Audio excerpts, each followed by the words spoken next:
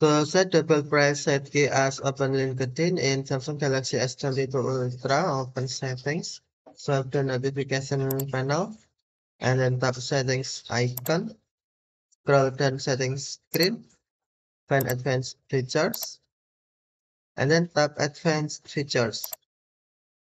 Select side key, and then on double press tap open app settings icon scroll down the screen, find LinkedIn, and then select LinkedIn. Now, double press side key set as open LinkedIn. Okay, let's do try.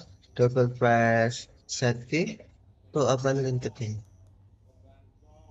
Okay, thank you for watching. Have a nice day.